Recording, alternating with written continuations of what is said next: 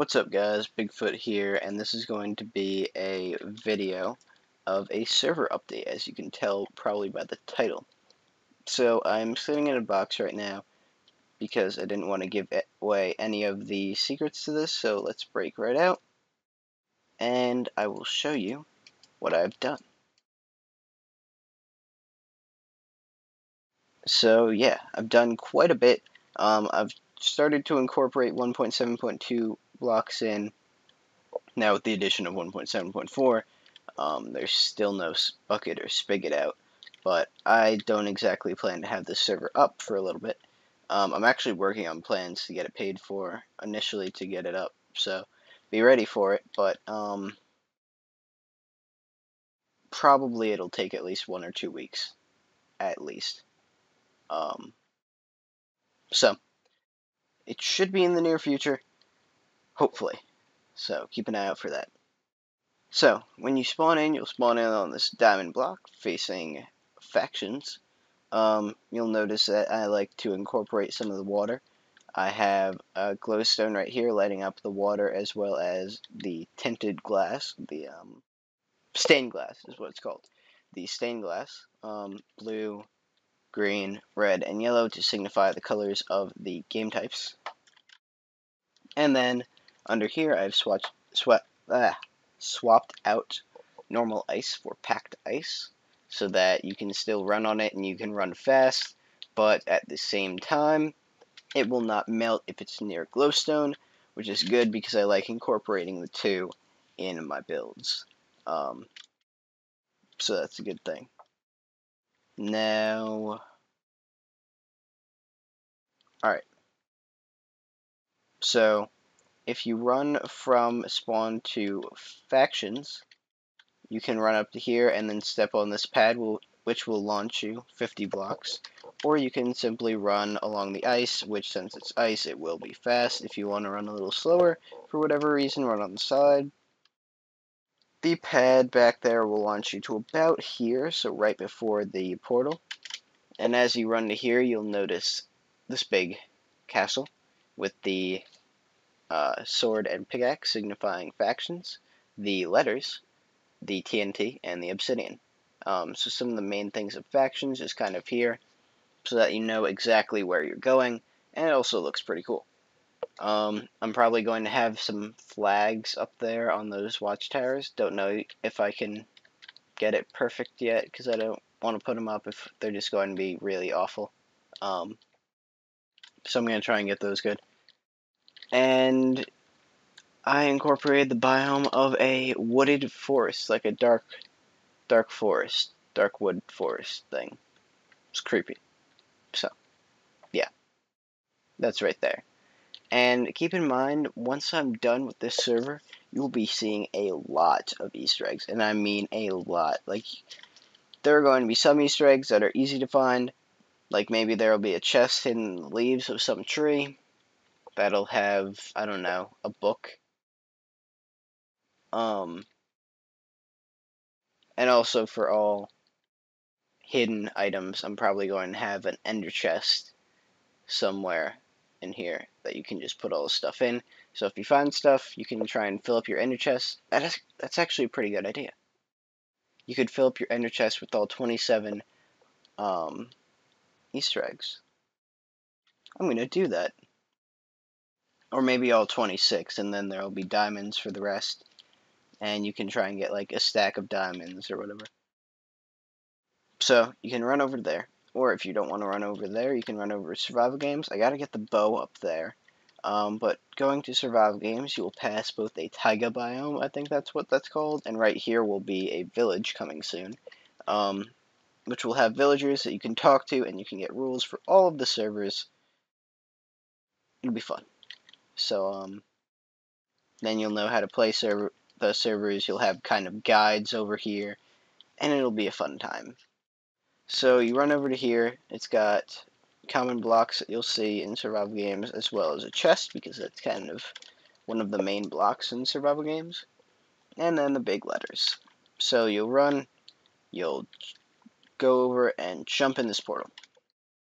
Now, if you want to go play Tower Wars, which is a plugin that I am getting developed, um, an idea that I came up with.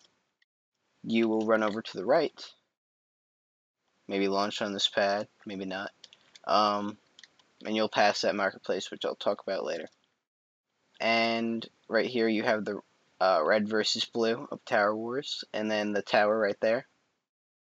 You'll run in and jump in, and it will lead you to the lobby for Tower Wars. So that should be cool. Um, and last but definitely not least is minigames.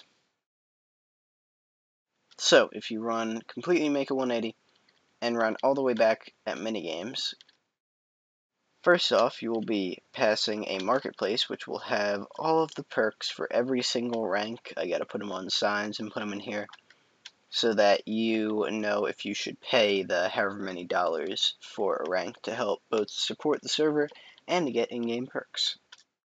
Now, in addition to that, um, over here we have a diamond block and a gold block, two common common currencies in minigames, and an NES controller. Um, and then obviously it says minigames up there.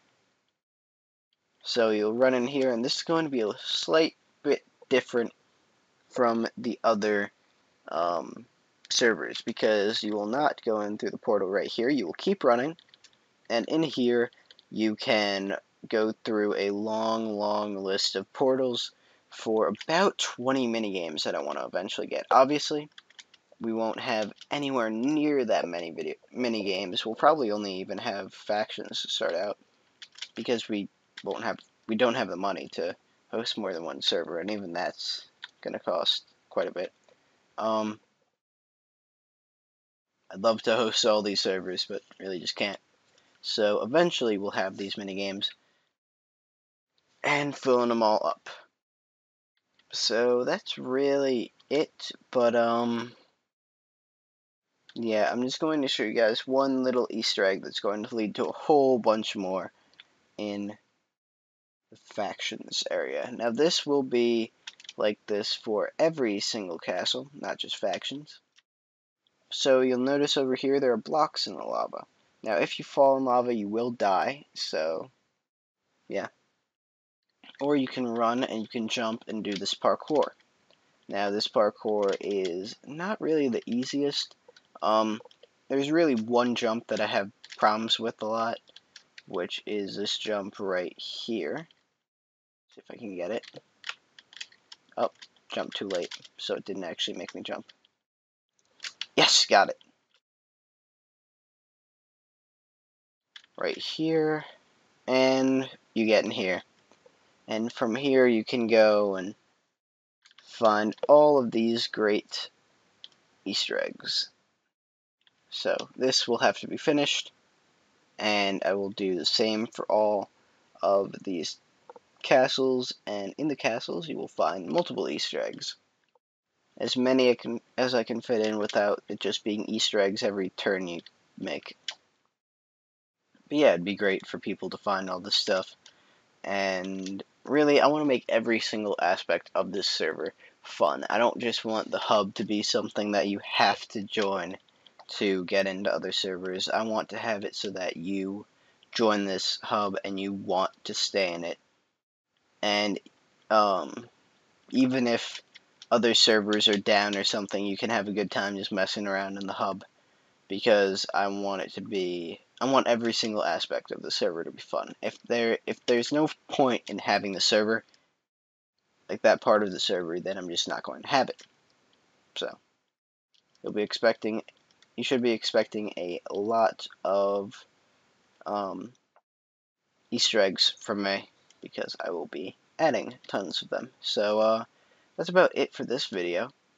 Um, made a good amount of progress in the time that I didn't have my mic. So make sure to follow me on twitch.tv slash bigfootgamingfilms because I will be live streaming me building this a lot there, as well as I'm going to be building the faction spawn kind of soon. Um, the survival games lobby. Uh, eventually, I'm going to be making some Tower Wars maps to give you guys some hints as to that. And, um, really just stuff like that. So, make sure to watch, and I hope you guys are excited for this server as much as I am. I will see you guys in my next video. Goodbye.